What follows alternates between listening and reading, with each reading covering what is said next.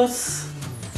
Bom, hoje eu quero mostrar para vocês como se personaliza uma caneca de polímero plástico, né? E uma caneca de vidro jateada de chope, para chope. Eu vou personalizar utilizando o método de sublimação. E, só que para essa caneca de, de, polímero eu vou ter que utilizar essa peça chamada culotte, tá? Você encaixa ela aqui para na hora de prensar não deformar, ok? Eu vou apresentar agora o resto dos materiais.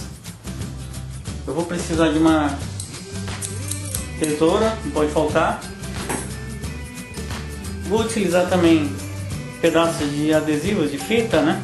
Nesse caso eu deveria utilizar aqui aquela fita térmica, que ela não deixa resíduo, né? Mas aqui nesse caso eu vou usar fita crepe mesmo em pedacinhos só para mostrar para vocês, tudo bem? Eu tô sem a fita térmica. Aqui eu tenho folha impressa já.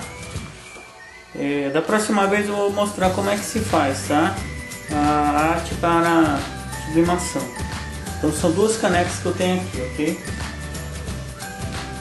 Vou te apresentar a máquina agora. A máquina que eu vou estar utilizando para esse tipo de trabalho é uma prensa cilíndrica chinesinha. É, tem dois tipos, o em graus Celsius né, e tem em graus Fahrenheit. Essa daqui é Fahrenheit. Tá? Aqui no caso, em graus Celsius você vai utilizar 200 graus, em torno aí de 180 segundos, é o que funciona para mim. E Fahrenheit eu vou utilizar aqui 380 graus, em torno também de 340 segundos, tá? Funciona bem para mim. Em outros casos, em algum, muitos tipos de máquina, uma qualidade melhor do que essa, aí você vai testando a, a, o tempo que você deixa e a temperatura que você deixa. Mas 200 graus sempre.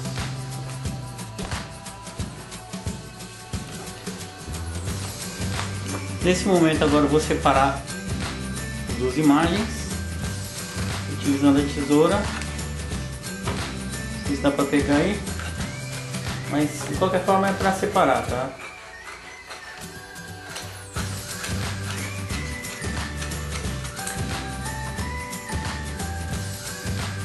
Deixa um espacinho a mais aqui em branco.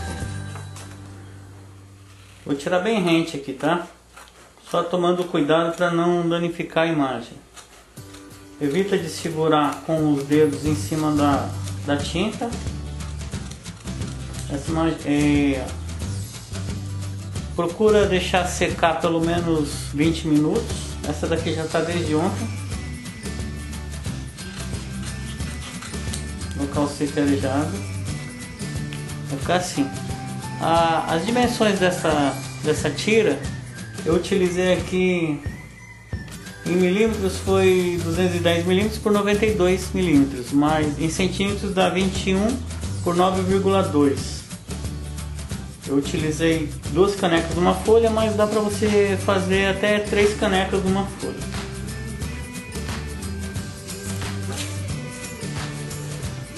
Vou essa aqui agora.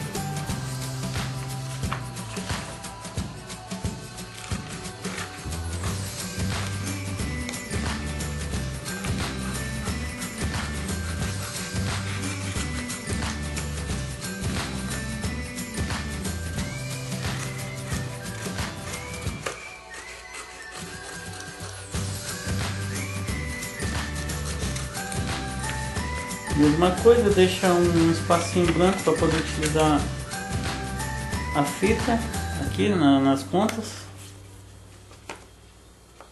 A fita vai servir para segurar a imagem na, na caneca enquanto faz a sublimação.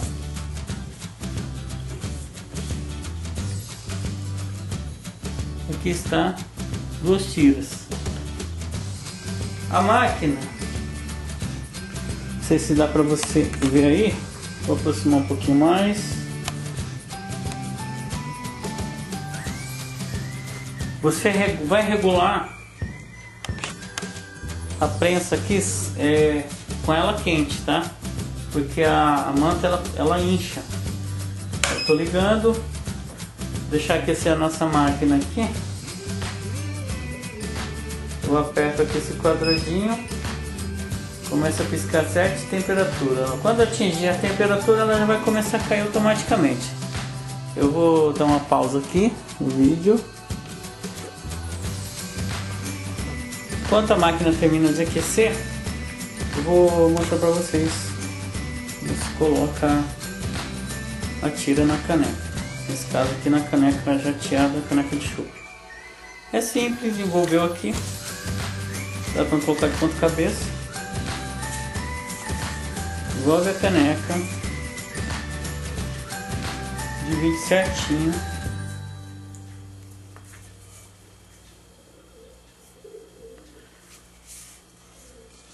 Deixa eu ajustar aqui melhor. Dividido o papel. Você vem com, a, com as fitas pegar aí. Você pode estar utilizando somente duas fitas se quiser. Eu costumo utilizar assim. Isso aqui é o suficiente, tá? É somente para segurar o papel. Mas eu costumo utilizar seis, mas nesse caso aqui eu vou fazer com duas, que também não há necessidade de tantas. Só para vocês verem. Então ela vai ficar assim e já já vocês vão ver ela sublimada, vai ficar bonito. Nossa temperatura está chegando ao atingir 380 Fahrenheit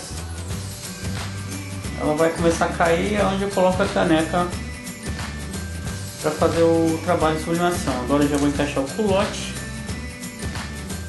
e aguardar a queda da, do tempo. Nunca coloque antes a caneca dentro da, da maquininha, porque o tempo não vai funcionar direito. Não, a temperatura não vai cair, o tempo não vai cair. 380, ela vai começar a cair agora, 49, você já pode prender a sua caneca. E aguardar o danado apitar.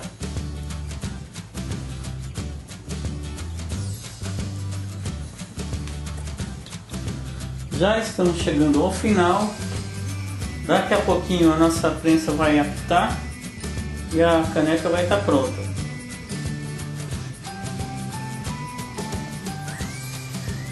Ok, apitou, desliga, abre, tira. Eu vou deixar ela esfriar um pouquinho. Ó, um detalhe importante, a, toda a caneca de polímero ela costuma entortar um pouco aqui, tá? Ela deforma um pouquinho. O que, que você vai fazer? Vai só deixar a, o coloque um, tempo dentro dela até que ela esfrie um pouco. Claro, no, procure estar tá sempre movimentando ele para não evitar dela travar ele aí dentro e depois ter quem tira.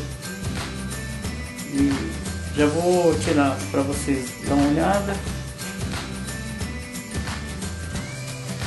Enquanto a nossa caneca esfria um pouquinho, eu já vou colocar de de chope de vidro para fazer a sublimação. Lá, aguardar a temperatura cair. Ok, só travar e aguardar.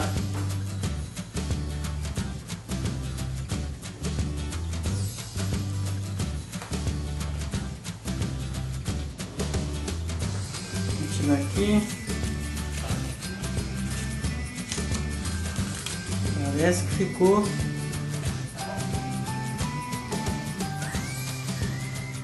ficou perfeita a nossa caneca, como vocês verem. Só não é mais perfeito porque é do Corinthians, certo? Ficou muito bonita essa caneca.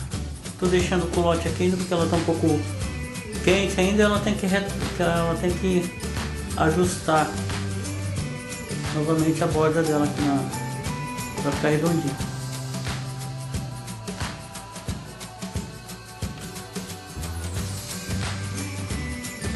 ok?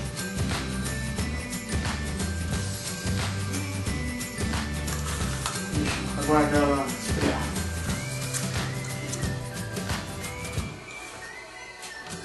Nossa caneca de, de chope aqui de vidro já está chegando ao fim também. Chegou ao fim. Vou abrir, tirá-la e já vou mostrar para vocês também. Eu vou mostrar para vocês também como que ela ficou, ok? Vamos ver como é que ficou essa caneca. essa máquina aqui. Eu uso, utilizo o auxílio de um estilete aqui. Olha só, vamos ver, vamos ver, vamos ver, vamos ver.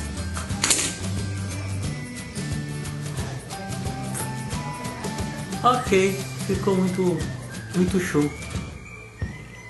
Para você que quer dar de presente uma caneca de chope ou uma caneca de porcelana, eu acho que é um, um presente muito bacana, personalizado, com o nome da pessoa ou a foto se você quiser.